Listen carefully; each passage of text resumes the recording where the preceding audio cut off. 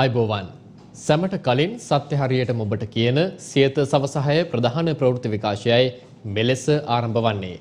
මම රසික සඳරුවන් ඉදිරිමාන්න ප්‍රථමයෙන් සිරස්තල වෙතයි අවධානය. ඉන්දන මිල ඉහළ දැමීම විවේචනය නොකර ආර්ථික අභියෝගයන්ට මුහුණ දීමට අවශ්‍ය විකල්ප කියන්න ඇමති ගම්මන් පිළ කියයි. තෙල් මිල වැඩි කිරීම පිළිබඳව අදත් ප්‍රදේශ රැසක විරෝධතා. තෙල්මිල පහළ දැමීම ගැන කැබිනට් මණ්ඩලයේදී වහා සාකච්ඡා කරන්න විපක්ෂ නායක සජිත් කියයි. ඊයේ කැබිනට් රැස්වීමේදී ඉන්ධන මිල ගැන සාකච්ඡා වුණේ නැහැ. කැබිනට් මාධ්‍ය ප්‍රකාශක කියයි. මුදල් අමාත්‍යංශයේ අනුමැතිය ලැබුණොහොත් ඔන්ලයින් ක්‍රමයට ගෙදරට මත්පැන් සුරාබදු දෙපාර්තමේන්තුව කියයි. මුදල් අමාත්‍යංශ අනුමැතිය ලැබුණොත් අපිට මත්පැන් බෙදා හැරීම සඳහා කොන්දේසි සහගත අවසරයක් පමණක් ලබා දීමේ හැකියාව ලැබෙනවා. ගුවනින් හෝ වරායෙන් නව කොවිඩ් ප්‍රබේද රට තුළට ඇතුළුවීමේ අවධානමක් ශ්‍ර ලංකා වෛද්‍ය සංගමයෙන් අනතුරු ඇඟවීම්. යුරෝපා පාර්ලිමේන්තුවේදී ශ්‍රී ලංකාවට එරෙහිව සම්මත වූ යෝජනාව ගැන විදේශාමාත්‍යවරයා සිය අප්‍රසාදය පළ කරයි.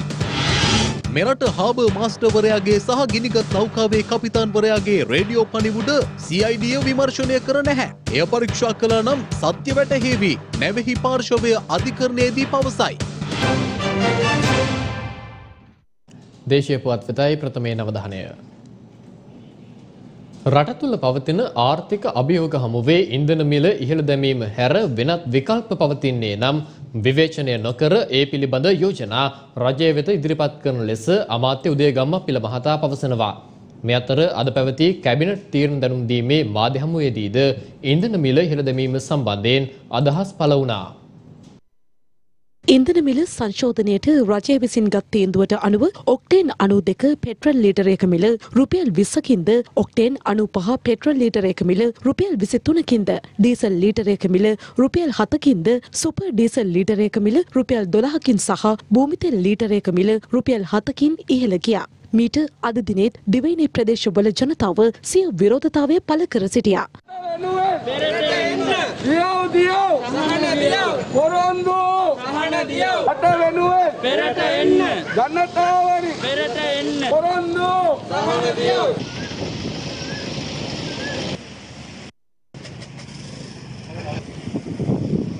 යන්ත්‍රපදා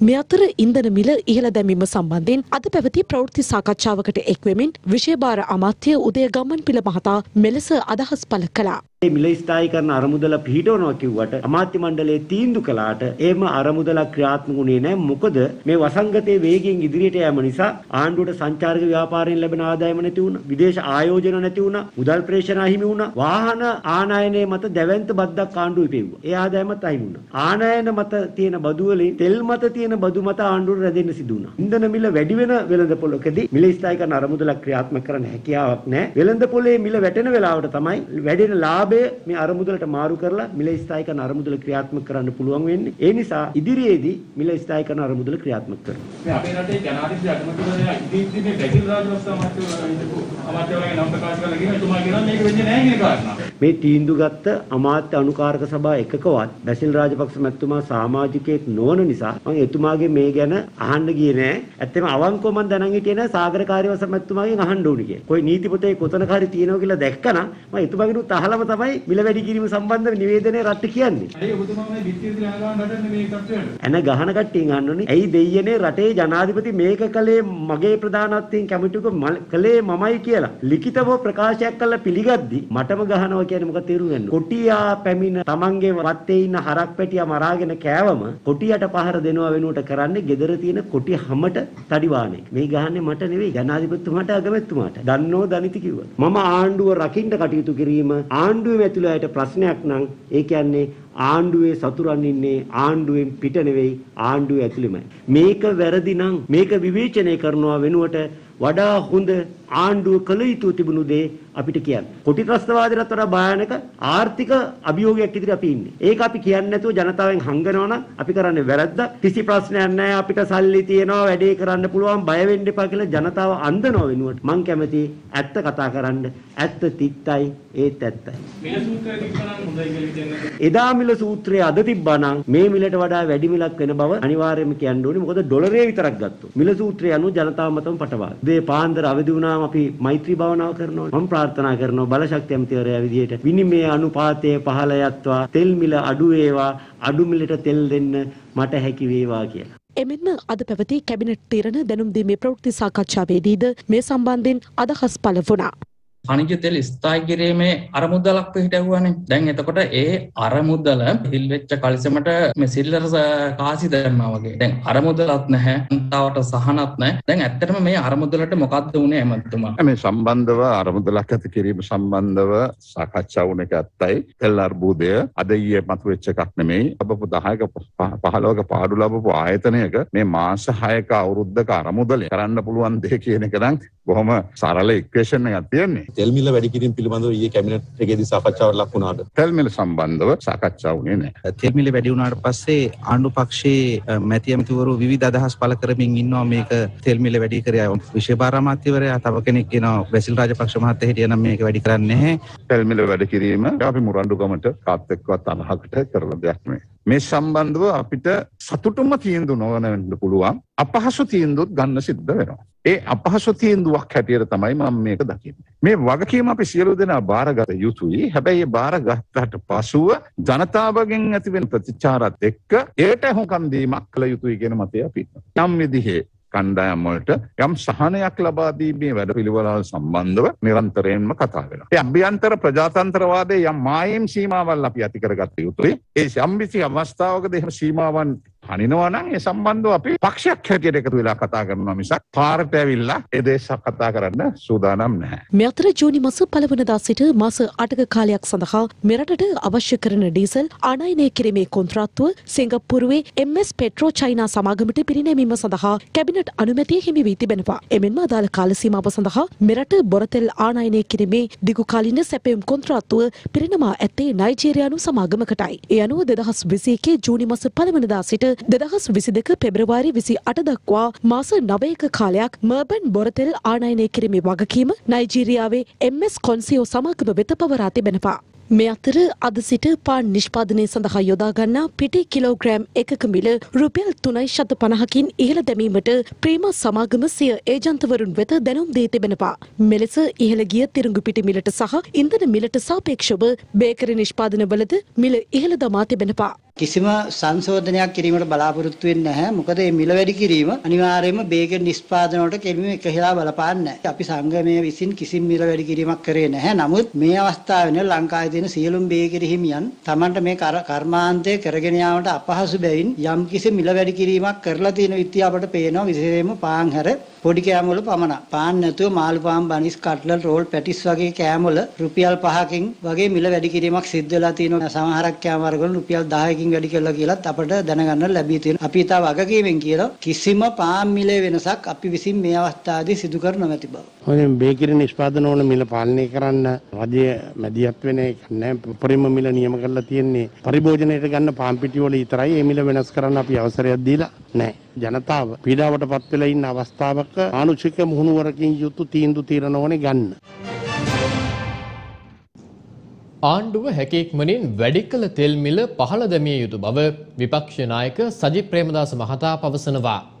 ඒ විපක්ෂ නායක කාර්යාලයේදී මාධ්‍ය වෙත අදහස් පළ කරමින් කොරුණා වලින් බැටකන අපේ රටේ ජනතාව නොයවසලෙන් බලාගෙන සිටිනවා තෙල් මිල පහළ පස්සනකම්. මේ අදම දුර්දාන්ත ආණ්ඩුවට මම ප්‍රකාශ කර සිටිනවා. තව තවත් ජනතාවගේ කාලෙකන් නැතුව අද දවසේම කඩිනම් කැබිනට් මණ්ඩල රැස්වීමක් කැඳවලා වහාම වැඩි කරපු තෙල් මිල හකුලා ගන්නට කටයුතු කරන්නයි කියන්නේ. සමගි ජන බලවේගයේ മന്ത്രിවරුන් කිසිම කෙනෙක් සැප වාහන ගන්නට යන්නේ නැහැ. අපට නෙවෙයි සැප අවශ්‍ය. රටේ ජනතාවටයි සැප අවශ්‍ය. රටේ ජනතාවටයි සිත සලසන්නට ඕන. ඒ නිසා මේ දුර්දාන්ත රජයෙන් ඉල්ලීමක් කරනවා. කරුණා කරලා හිතක් පපුවක් තියනවා.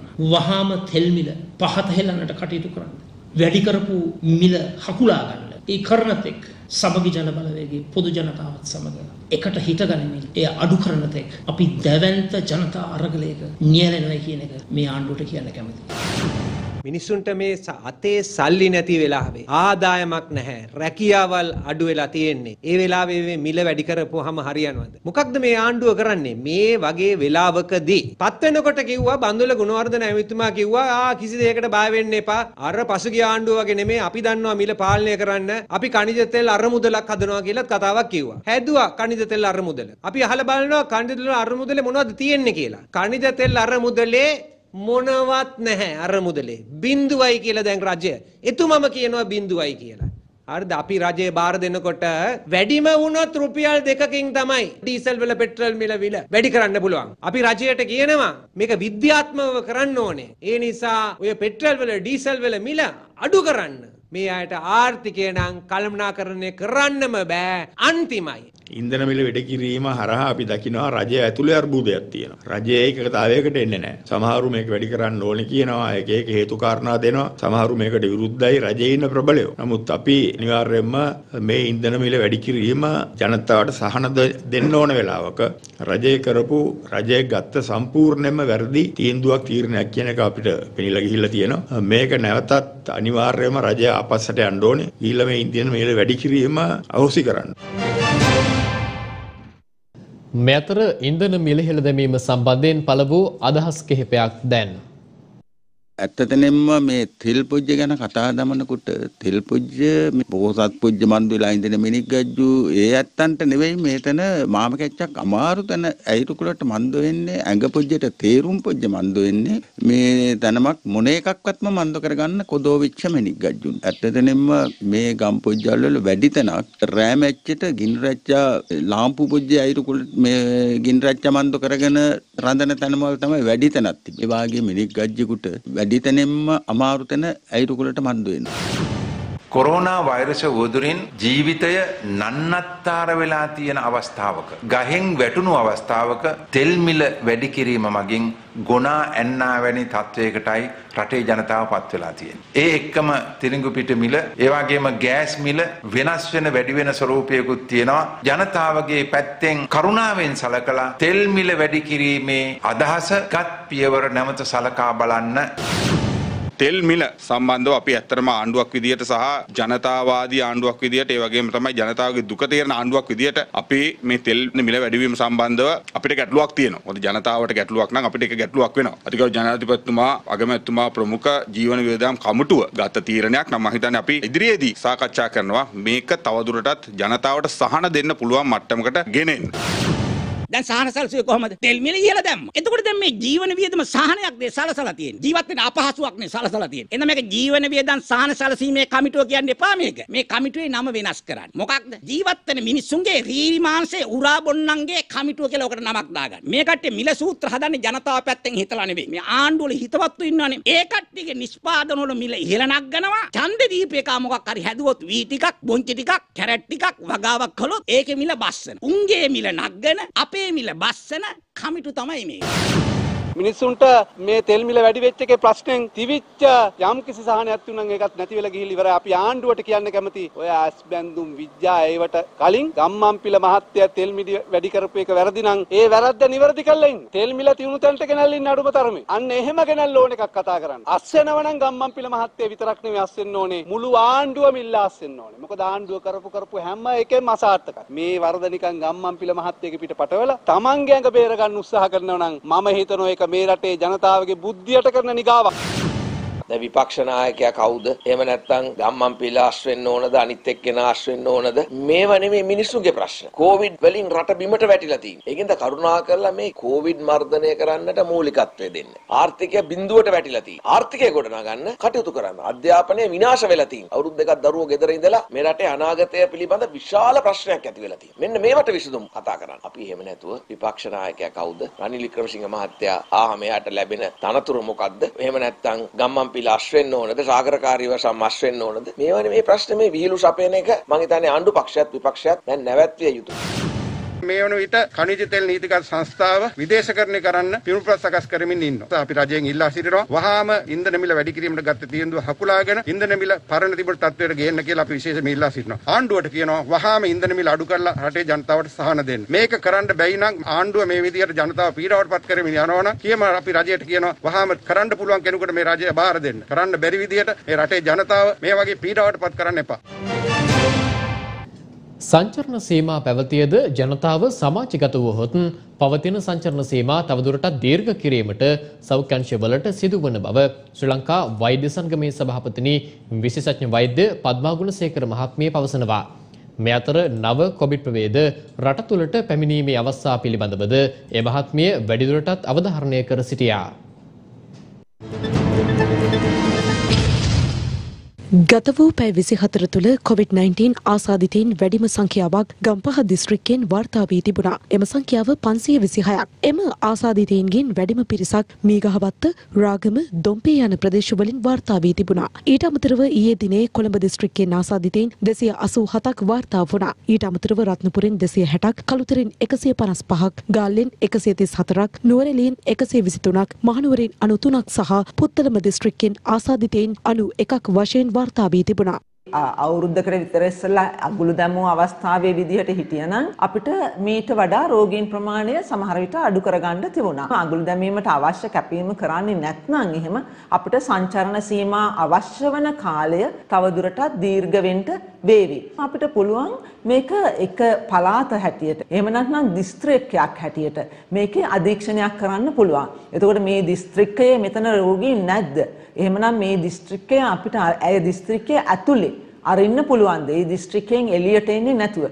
මේ වගේ විශාල පරාසයක අධීක්ෂණයක් කළා තමයි මේ තීරණය ගන්න වෙන්නේ සංචරණ සීමා තවදුරටත් දීර්ඝ කරනවද නැද්ද කියන එක. එකක් හැබැයි පැහැදිලි සමාජයේ හැසිරීම අපිට අනුමත කළ නොහැකි නිසා සංචරණ සීමාවල අවශ්‍යතාවය වෙන කාලය දීර්ඝ වෙනවා. ලංකාවේ දැනට තියෙන ඇල්ෆා ප්‍රභේදය මේකේ ඉන්දියාවේ පැතුරුනේ වසංගතයක් විදිහට බොහෝ වෙලාවට පැතුරුණා මේ ඩෙල්ටා ප්‍රභේදය කියන එක.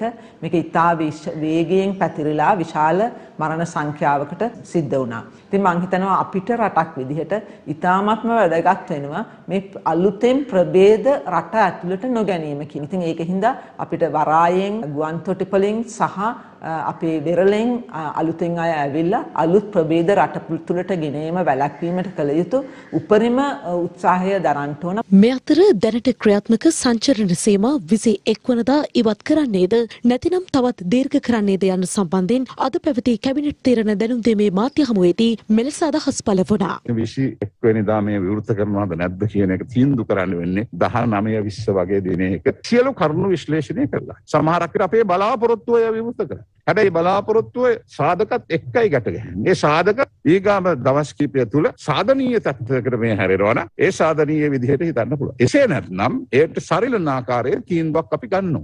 අඹගමු සෞඛ්‍ය වෛද්‍ය නිලධාරී කාර්යාලය යටතේ පාලනය වන හැටෙන් කුඩාඔය වතුයායෙන් සහ කුඩාඔය ජනපදයෙන් කොවිඩ් ආසාදිතයින් 18 දෙනෙකු හඳුනාගත් බව අඹගමු සෞඛ්‍ය වෛද්‍ය නිලධාරී කාර්යාලයේ මහජන සෞඛ්‍ය පරීක්ෂකවරුන් ප්‍රකාශ කළා. පසුගිය ජූනි 13 වනදා කොවිඩ් මරණ 57ක් තහවුරු වූ බව සෞඛ්‍ය සේවා අධ්‍යක්ෂ ජනරාල් වෛද්‍යසේල ගුණවර්ධන මහතා ප්‍රකාශ කළා. ඒත් සමග මෙරට සමස්ත කොවිඩ් මරණ සංඛ්‍යාව 2203ක් දක්වා ඉහළ ගොස් තිබුණා. පසුගිය 13 වනදා සිදු වී ඇති කොවිඩ් මරණ 57න් 32 දෙනෙකු පිරිමි පුද්ගලයන් වන අතර කාන්තාවන් 25 දෙනෙකුට ඇතුළත් වන බවයි රජයේ ප්‍රවෘත්ති දෙපාර්තමේන්තුව සඳහන් කළේ. ඊයේ දිනේදී අපි මරණ 57ක් ප්‍රකාශයට පත් කරා. එම මරණ 57ම සිදු වුණේ 13 වෙනි දිනේදී. එම මරණ 57න් අවුරුදු 30ට අඩු එක මරණයකුත් 30යි 59 අතර මරණ 11කුත් අවුරුද්දට 60ට වැඩි මරණ 45කුත් වාර්තා වුණා. එම මරණ 57න් රෝහල් වලදී සිදුවෙච්ච මරණ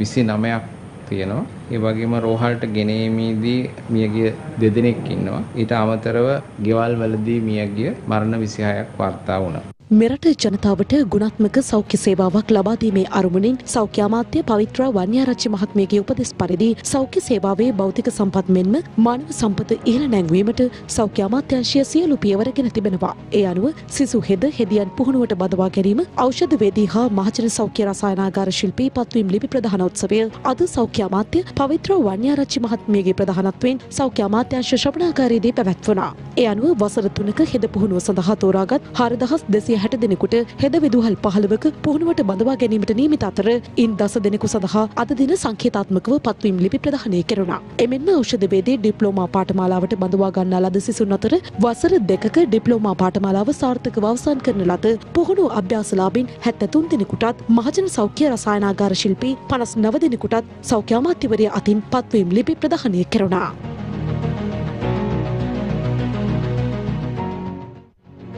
රට තුළ පවතින රෝහල් අවශ්‍යතාවය සැලකිල්ලට ගනිමින් මැලිබන් ආයතනය ගම්පහ මූලික රෝහලට රුපියල් මිලියන තුනක පමණ වටිනාකමකින් යුත් දැඩිසත්කාර ඒකක ඇඳක් සහ වෙන්ටිලේට යන්ත්‍රයක් ඇතුළු වෛද්‍ය උපකරණ ප්‍රධානය කිරීම පසුගියදා සිදු කර තිබුණා.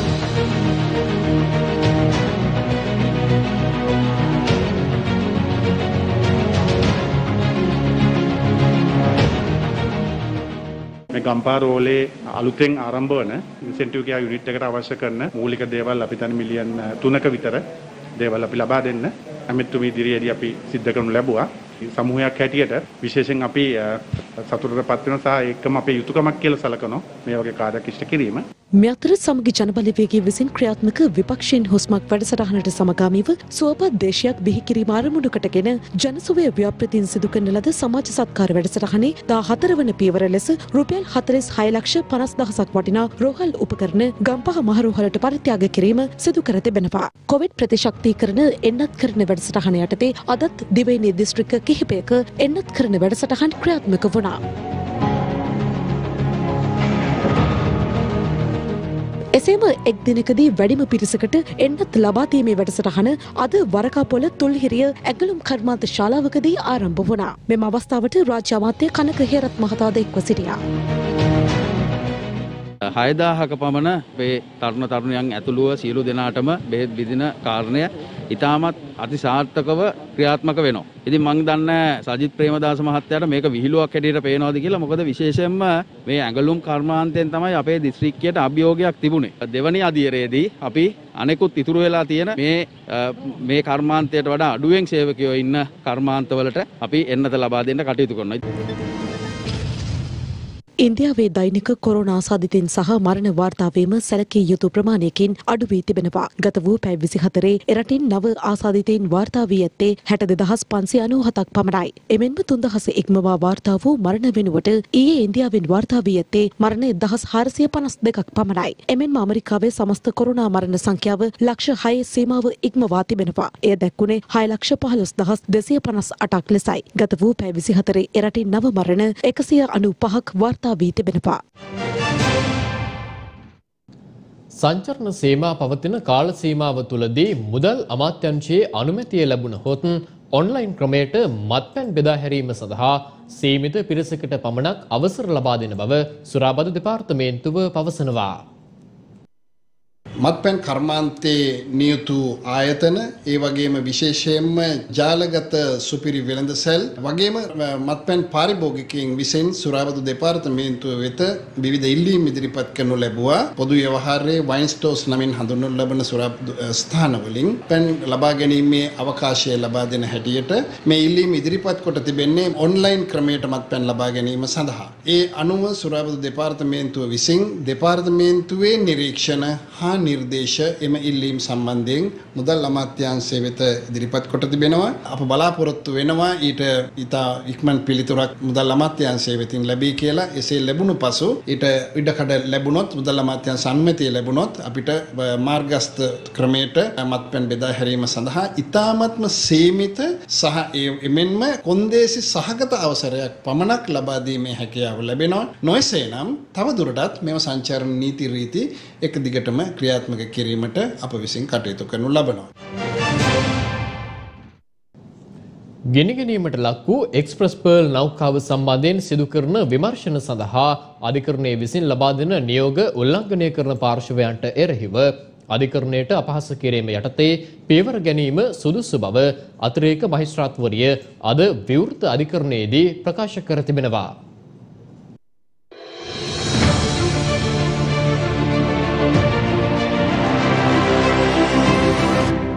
මෙහිදී අපරාධ පරීක්ෂණ දෙපාර්තමේන්තුව වෙනුවෙන් පෙනී සිටි නියෝජ්‍ය සොලිසිටර් ජෙනරාල් මාධව තෙන්නකෝන් මහතා අධිකරණය හමුවේ කරුණු දක්වමින් චෝදනා කළේ විමර්ශන කටයුතු සඳහා ගෙනගැනීමට ලක් වූ නෞකාවේ දේශීය නියෝජිත වන සී කොන්සෝටියම් ලංකා සමාගමේ ඊමේල් දත්ත ගබඩාවේ පිටපතක් අපරාධ පරීක්ෂණ දෙපාර්තමේන්තුව වෙත ලබා දෙන ලෙසට ඉකුද්දා අධිකරණය විසින් නියෝගයක් නිකුත් කළත් එම දත්ත ලබා දීම අදාළ සමාගම විසින් පැහැර හැර ඇති බවයි. එම අවස්ථාවේදී අදාළ සමාගම වෙනුවෙන් පෙනී සිටි ජනාධිපති නීතිඥ සරත් ජයමාන්න මහතා අධිකරණය හමුවේ කරුණු දක්වමින් අධිකරණය විසින් නියෝග කර ඇත්තේ මෙම විමර්ශනවලට අදාළ ඊමේල් දත්ත පමණක් ලබා දෙන ලෙසට වුවත් අපරාධ පරීක්ෂණ දෙපාර්තමේන්තුවේ නිලධාරීන් අදාළ සමාගමේ සමස්ත දත්ත ගබඩාවම තමන්ට ලබා දෙන ලෙසට ඉල්ලීම් කරන බවත් ප්‍රකාශ කළා. මේ හරහා අදාළ සමාගම සතු ව්‍යාපාරික රහස් ප්‍රසිද්ධියට පත්වීමේ අවදානමක් තිබෙන බවත් ජනාධිපති නීතිඥවරයා මෙහිදී සඳහන් කළා. මෙම අවස්ථාවේදී මහේස්ත්‍රාත්වරිය රජයේ නියෝජ්‍ය සොලිසිටර් ජෙනරාල් වරයාට පෙන්වා දුන්නේ අධිකරණය විසින් ලබා දෙන යම් නියෝගයක්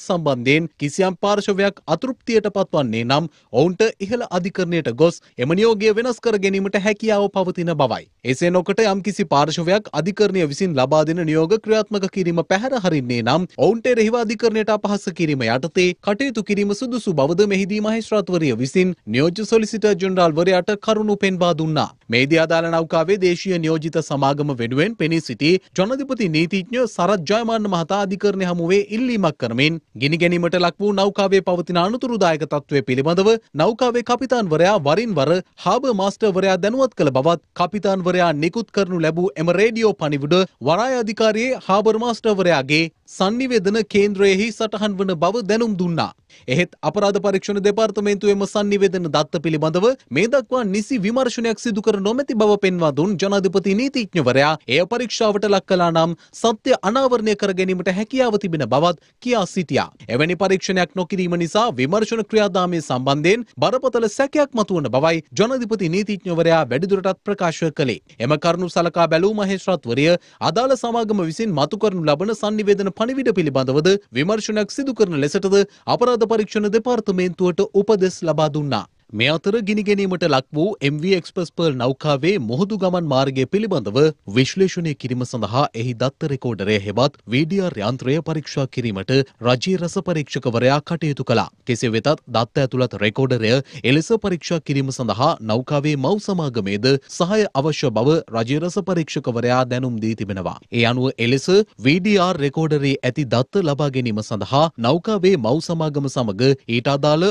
සහාය ලබා ගනිමින් සිටින බවයි පොලිස් මාධ්‍ය ප්‍රකාශක නියෝජ්‍ය පොලිස්පති අජිත් රෝහණ මහතා සඳහන් කළේ. මෙම නැවෙහි වොයිස් ඩේටා රෙකෝඩ් එමන් නැත්නම් මුහුදු ගමන් පිළිබඳ තොරතුරු රෙකෝඩණය රජයේ රස පරීක්ෂකවරයා වෙත අධිකරණ නියෝග මත යවනු ලැබුවා. රස පරීක්ෂකවරයා වෙතින් ඊයේ දැනුම් දී තිබෙනවා. එහි දත්ත තවදුරටත් විශ්ලේෂණය කිරීමට එම රෙකෝඩණය නිෂ්පාදනය කළ සමාගමේ සහාය අවශ්‍ය බවට ඒ අනුව එම රෙකෝඩණය නිෂ්පාදනය කළ සිංගප්පූරු නියෝජිත ආයතනයේ සහාය ඉදිරියේදී ඒ විමර්ශන කටයුතු සඳහා ලබා ගැනීමට නියමිතව තිබෙනවා. මීට අමතරව නැවී කපිතාන්වරයා සහ නැවේ මව් සමාගමත් එවැගේම නැවේ කපිතාන්වරයා සහ කොළඹ පිහිටි දේශීය සමාගමත් අතර ඇති වූ පණිවිඩ පිළිබඳ සංනිවේදන මේ වන විට විශ්ලේෂණය කරමින් පවතිනවා. විශේෂයෙන්ම මේ නැවෙහි කන්ටේනරයක කාන්දුවක් සිදුවීම පිළිබඳ කුමන අවස්ථාවේදී දැනුම් දීමක් කර තිබුණාද? ඒ සම්බන්ධ ගත් ක්‍රියාමාර්ග මොනවාද මේ කරුණු සම්බන්ධයෙන් විශ්ලේෂණය කරමින් තවදුරටත් ප්‍රකාශ සටහන් කිරීමටත් වැඩිදුර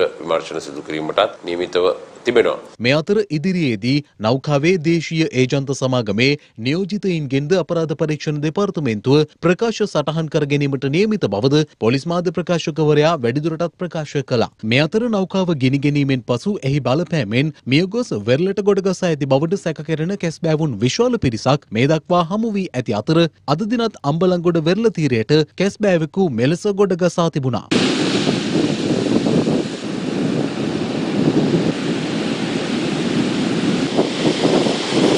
එමෙන්ම යාපනය කයිට්සු වෙරල තීරයටද මියගිය අඩි විස්සක පමණ විශාල ප්‍රමාණයේ තල්මස්සිකුගේ සිරුරක් ගොඩගසා තිබූ අතර අද දින නිලධහරින් එම සත්වයාගේ පශ්චාත් මරණ පරීක්ෂණය සිදු කරනු ලැබවා.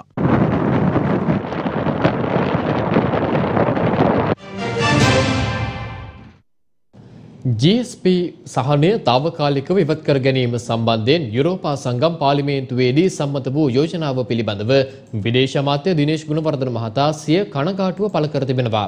ඒ කොළඹ යුරෝපා සංගමයේ නියෝජිතයින් සමග විදේශ කටයුතු අමාත්‍යංශයේ පැවති සාකච්ඡාවකදී අප රට විසින් අපනයනය කරන බාණ්ඩ සඳහා යුරෝපය විසින් ලබා දෙන ආර්ථික සහනය GSP+ සහනය ලෙස සැලකෙනවා. GSP+ යටතේ අප විසින් අපනයනය කරනු ලබන බාණ්ඩ වලින් 66ක් සඳහා සහන හිමිවන අතර ඒ අනුව ශ්‍රී ලංකාව යුරෝපා සංගමේ දෙවන විශාලතම අපනයන වෙළඳපළ බවට පත්ව තිබෙනවා. රෙදිපිලි සහ ඇඟලුම් අපනයනය මෙරට ආර්ථිකය සඳහා විදේශ විනිමය උපයන තවත් එක් වැදගත් අංගයක් වන අතර 2020 වර්ෂය වන විට රෙදිපිලි ඇතුළු ඇඟලුම් වලින් 152 හයදශම තුනක ප්‍රතිශතයක් යුරෝපා සංගමය වෙත අපනයනය කරනු ලබන්නේ ශ්‍රී ලංකාවයි. මෙ අතර මත්ස්‍ය නිෂ්පාදන අපනයනයේදී GSP+ සහනය හිමි වනවා. කෙසේ වෙතත් ශ්‍රී ලංකාව වෙත ලබා දෙන GSP+ ආර්ථික සහනය తాවකාලිකව ඉවත් කර ගැනීම සහ එහි ප්‍රතිලාභ සලකා බලන ලෙස යුරෝපා කොමිසමෙන් ඉල්ලා සිටින යෝජනාවක් පසුගියදා යුරෝපා සංගම් පාර්ලිමේන්තුවේදී සම්මත වුණා. මේ පිළිබඳ ප්‍රකාශයක් සිදු කරමින් විදේශ අමාත්‍ය දිනේෂ් ගුණවර්ධන මහතා අදාළ යෝජනාව සම්මත කර ගැනීම සම්බන්ධයෙන් සිය කනගාටුව පළ කර සිටියා.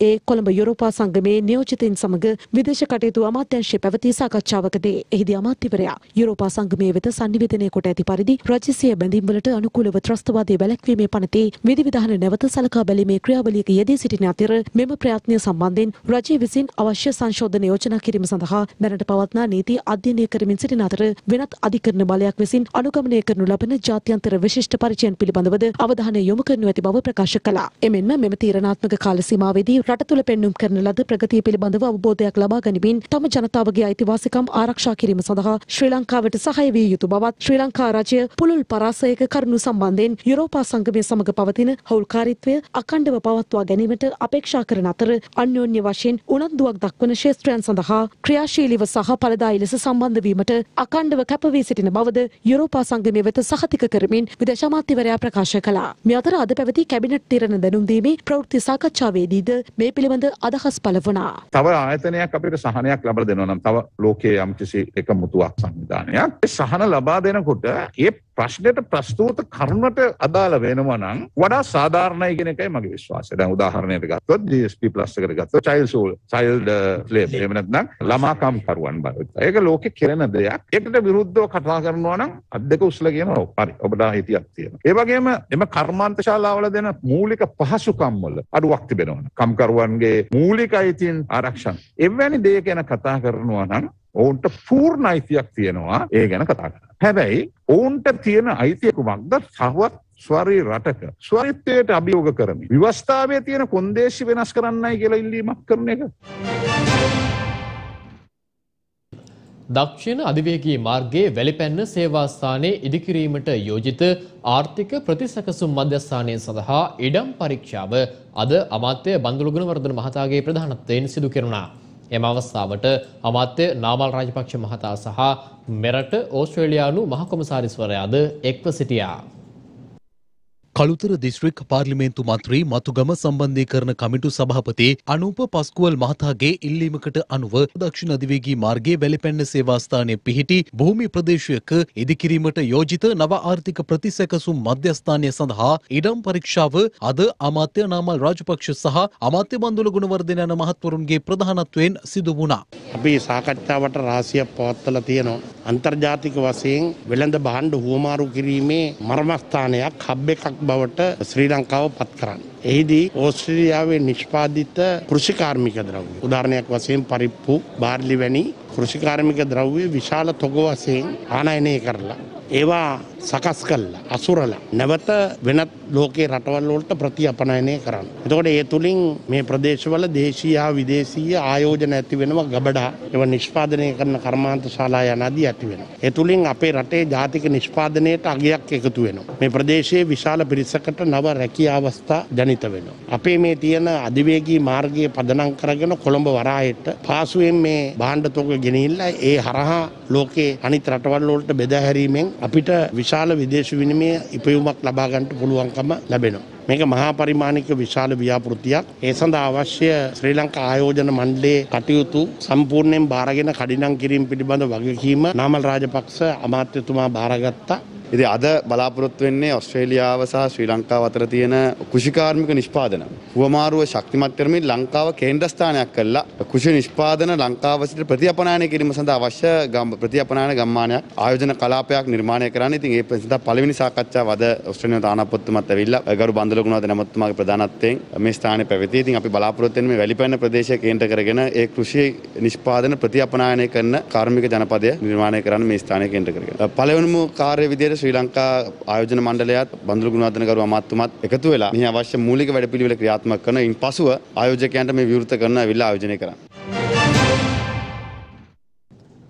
දිනෙන් දින ඉහළ යන වන අලිතර්ජනය හමුවේ පීඩා විදින ඇලහැර ගොවි ජනපදයේ ගල්මුල්ල සහ ගඟේයා යන ගම්මානවල ජනතාව පිළිබඳවයි මේ තොරතුරු.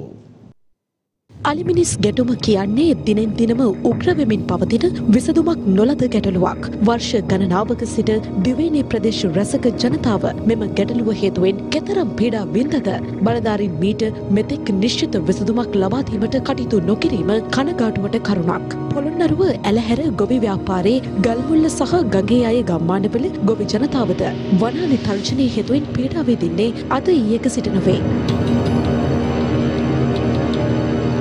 කෘෂිකර්මාන්තය සිය ජීවනෝපාය බවට පත්කර ගනිමින් ජීවත්වන මෙම ජනතාව නිරන්තරයෙන් ගම්මදින වනාලීන් හේතුවෙන් සිය වගාවන් ක්‍රමවත්ව පවත්වාගෙන යන් නොහැකිව දැඩි දුෂ්කරතාවයන්ට මුහුණ පා සිටිනවා. මේ බලන්න අලිවට හිටවලා දෙන හැටි. මේ පේනව නේද? ගල් කැට දෙකක් තුනක් තිබ්බා. ආපහු මේ පොඩි ජැක් ටිකක් ගැහුවා. ඕන් අලිවට හැදුවා ඉවරයි. දැන් එතකොට දැන් එතන දැන් එතකොට අලි අර පැත්තෙන් එනවා විතරයි. මේක සම්පූර්ණ පෙරලෙනවා. මොනවත් ගේන්නේ නැහැ කෙලීම ගේන්නේ. එයාගේ වප්පියක් තියෙනවා නැත්නම් පිහිය ගෙනලා හාරලා මේක අස්සෙන් දානවා. මේක අස්ස ගල් කැට ටිකක් දාලා මේ මෙතන මුක්කුවක් ගහනවා. ඕන් අලිවට ඉවරයි. ගම්වාසීන් පවසන්නේ වස්කමුව ජාතික වනෝද්‍යානයේ සිටින වනාලීන් මෙලෙස නිරන්තරයෙන් සිය ගම්මාන කරා පැමිණ වගාවන් සියල්ල විනාශ කර දමන බවයි. මෙම ගම්වාසීන් වගකිව යුතු බලධාරීන්ගෙන් ඉල්ලා සිටින්නේ මෙම ගැටලුවට කඩිනමින් විසඳුම් ලබා දී සිය ජන ජීවිතය යථාවත් කර දෙන ලෙසයි. ගොයම කාලා කාලා මේ බලන්න අලි බෙටි ගොයන් කැපුවා වගේ කාලා ලියලි කෑලි පහ හයක්. අපිට කැඳවත් බොන්න ඉතුරු වෙන්නේ නැහැ. මෙහෙම ගියොත් එලවන්න රේන්ජර්ලට කිව්වට එන්නේ නැහැ. කාටවත් කිව්වට එන්නේ නැහැ. අපිට පිහිටක් වෙන්නේ නැහැ. අපිට මේවා දැන් ණය ගෙවන්නවත් විදියක් නැහැ මේ අපි මේ කුඹුරු වැඩ කරලා ඉවරලා දෙයියනේ. මේ මේවට හෙන ගහන අපරාධ මේ බලන්න කොහොම එක්ක අලි ටික අරන් ගිහලා හත වෙනකොට මේ ගෙවල් වල ඉන්න බෑ. සම්පූර්ණ මේ කුඹුරියා ඉන්නේ අලි. ඊයේ රෑ මම ටෝච් එක අල්ලගෙන යනවා. තා පොඩ්ඩක් මට ඊයේ රෑ ගහනවා. මේ අතර පවතින වනාලි ගැටලුව සම්බන්ධයෙන් ගොවි අරගල ව්‍යාපාරයේ සමාජික මధుර ශ්‍රීපාලි මහතා මෙලෙස අදහස් පල කලා. ඇලහැර ග්‍රාමසේවාසම් විසියටක් තියෙනවා මේ විසියටටම මේ අලි ප්‍රශ්නය කියන එක තීරණාත්මක ප්‍රශ්නයක් වෙලා තියෙනවා. හැබැයි ආණ්ඩුව විදිහට මේ මිනිස්සු වගා කරන වගාව කියන්නේ තමන්ට කණ්ඩහ කරගන්න එකක් නේ මුළු රටටම පත්වෙච්චි ජනාධිපතිවරු මේ වගාවෙන් විශාල ප්‍රමාණයක් සත්තු හානි කරනවා කියලා කතන්දර කියලා තියෙනවා. හැබැයි රජයක් විදිහට ප්‍රාදේශ සභාවක් විදිහට මේකට කිසිම උත්තරයක් නැහැ. අපි ගත්තොත් එහෙම ඇලහැර ප්‍රාදේශ සභාවේ මන්ත්‍රීවරු 18 දෙනෙක් ඉන්නවා. මේ 18 දෙනාම ජීවත් කරවන්නේ මේ ගොවි ජනතාවගේ බදු මුදල් වලින්. හැබැයි මේ අලි ප්‍රශ්නෙට අලි වෙඩිල්ලක් දෙන්න තරම්වත් මේ ආණ්ඩුව වනජීවියක සමත් වෙලා නැහැ. ඉදිරි කන්නේ සිට රසායනික පොහොර වලින් තොරව කාබනික පොහොර භාවිතයෙන් පමණක් මෙරට වගා කටයුතු සිදු කිරීමට පියවර ගන්නා බව රාජ්‍ය අමාත්‍ය අරුන්දික ප්‍රනාන්දු මහතා පවසනවා. ඒ අද කොළඹ පැවති මාධ්‍ය හමුවකදී මේ රසායනික පොහොර නැවැත්වීම කියන කාරණාව අපි රජයක් ඇටියට සම්පූර්ණයෙන්ම ඒ වෙනුවෙන් පෙනී හිටිනවා. අනිවාර්යෙන්ම මේ කන්නෙන් පස්සේ මේ කන්නෙන් පස්සේ මේ රසායනික පොහොර නවත්තන්න ඕනයි කියන තැන අපි සියලු දෙනාම ඉන්නවා. හැබැයි ඒකෙදි දැන් වැරදි මතයක් රට තුල යනවා රසායනික පොහොරවල අඩුවක් තියෙනවා කියලා මේ කන්නේට. එහෙම එකක් නෑ. මොකද දැන් මේ තීන්දුව ගන්නකොට මේ රටට රසායනික පොහොරේ අවශ්‍ය ප්‍රමාණය ගෙනල්ලා තිබ්බේ. මේ කන්නේට අවශ්‍ය. විශේෂයෙන්ම වී ගොමිතන්. එතකොට දැන් ඒවා හොරෙන් තියාගෙන එහෙම නැත්නම් ඒවා වෙළඳපොළට නැත්තම් එහෙම නැත්තම් ගොවින්ට දෙන්නේ නැතුව එහෙම කවුරු හරි කටයුතු කරනවා නම් ඒක සම්පූර්ණයෙන් වැරදි. ඒක නිවැරදි කරන්න රජය කටයුතු කරනවා. හැබැයි ඊළඟ කන්නේ ඉඳලා සම්පූර්ණයෙන්ම දේශීය කාබනික පොහොර යෙදීම දේශීය කෘෂි කර්මාන්තයට ඒ වගේම තමයි වැවිලි කර්මාන්තයටත් දෙන්න පුළුවන් ශක්තිය කාබනික පොහොර තුලින් දෙන්න පුළුවන් ශක්තිය ලබා දීම කියන කාරණාව රජය අනිවාර්යයෙන්ම සිද්ධ කරනවා. හැබැයි ඒ වගේම තමයි මින් ඉදිරියට රසායනික පොහොරවල මොකක් හරි සංඝටකයක් මේ රටට ගෙන්නනවා නේ ඒක පෞද්ගලික අයටවත් වෙළඳපොළටවත් දෙන්නේ නැහැ. ඒක සම්පූර්ණයෙන්ම කෘෂිකර්මාන්තය කෘෂිකර්මා මාත්‍යංශය ගොවි ජන සේවා මධ්‍යස්ථාන ඒවල පාලනය යටතේ තමයි ඒ වගේ එකක් නිකුත් කරනවා නම් නිකුත්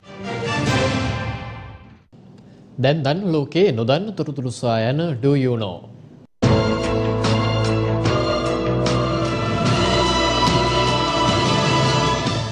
you know?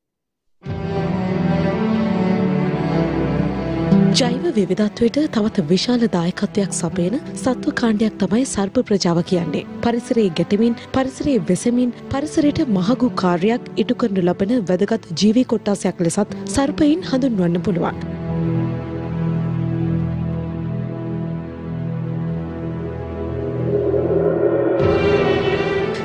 සර්පයින් විසින් පරිසරයට නිහඬ සේවයක් ඉටු කරනු ලබනවා. විලෝපිකයන් ලෙස පෙනී සිටිමින්ද විවිධ සතුන් ආහාරයට ගනිමින්ද පරිසරයේ පවත්නා ආහාර දාමයට සර්පයින් ඍජුවම දායක වෙනවා.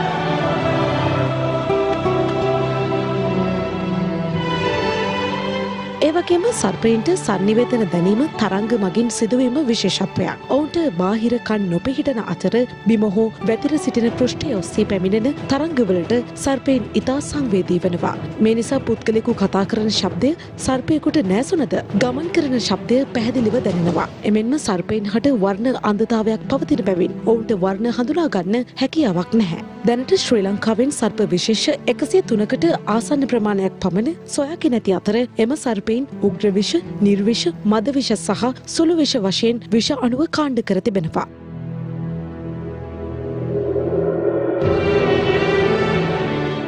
මේ ආකාරයට සර්ප විශේෂ රසක් හඳුනාගත හැකි වුණත් උග්‍ර විෂ සහිත සර්පීන් ඇත්තේ ඉතා කුඩා ප්‍රමාණයක්. ඒ අතරිනුත් ගොඩබිම වාසය කරන්නේ ඉතාම කුඩා ප්‍රමාණයක්.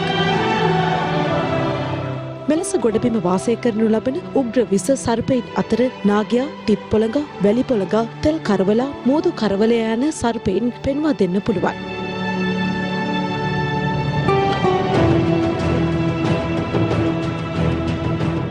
මේ අතර කොස් ඇටහෙන ගම්මානයේ නිවසකින් නයි පැටවුන් විසි දෙදෙනෙකු හමු වී තිබෙනවා. අල්ලාගත් නයි පැටවුන් අබේ භූමියකට මුදාහල බවයි එම ප්‍රදේශයේ කෘෂිකර්ම පර්යේෂණ නිලධාරී ඩීජී ප්‍රියන්ත මහතා පැවසුවේ.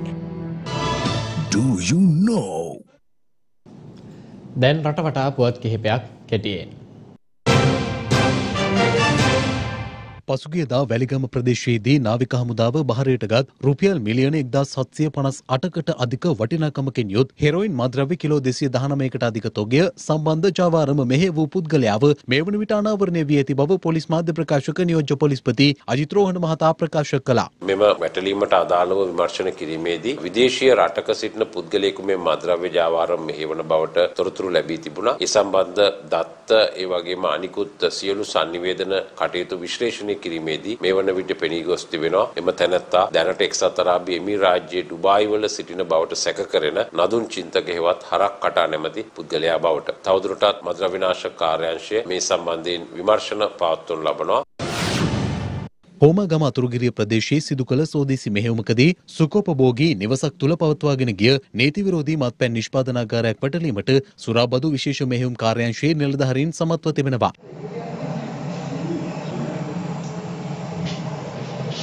එහිදී නීති විරෝධී මත්පැන් මිලිලීටර් පන්ලක්ෂ විසිපන්ද හසක් ගෝඩා මිලිලීටර් හාරලක්ෂ හතලිස් දෙදස් පන්සියක් සමඟ සැක්කරුවන් දෙදෙනෙකු අත්තඩංගුවට ගනු ලැබවා. නිරෝධහනය කිරීමට යොදා ගන්නා දැන්වීමක් උපයෝගී කර ගනිමින් නීති විරෝධී මත්පැන් නිෂ්පාදනය කළ පුද්ගලයෙකු පයගල පොලිසිය විසින් අත්අඩංගුවට ගෙන තිබෙනවා. එහිදී ගෝඩා මිලිලීටර් 3,58,000ක් නීති විරෝධී මත්පැන් මිලිලීටර් 33,750ක් මත්පැන් නිෂ්පාදනයට යොදා ගන්නා උපකරණ රැසක්ද පොලිස් බහරයට ගෙන තිබෙනවා. ඒත් සමගින් සියත සවසහය ප්‍රධාන ප්‍රවෘත්ති විකාශය අවසන්. මෙම පුවත් ඇතුළු තවත් දෙස් විදෙස් ආර්ථික සහ ක්‍රීඩා තොරතුරු සඳහා පිවිසන්න www.සියත.news.lk අපගේ වෙබ් අඩවිය වෙත. යළිත් හමුවෙමු රාත්‍රී 9:35ට. ඔබට සුබ සන්ධ්‍යාවක්. දිනපතා අලුත් වීඩියෝ සහ ප්‍රවෘත්ති නැරඹීමට ඉහත බටන් එක ක්ලික් කර සියත TV සබස්ක්‍රයිබ් කරන්න.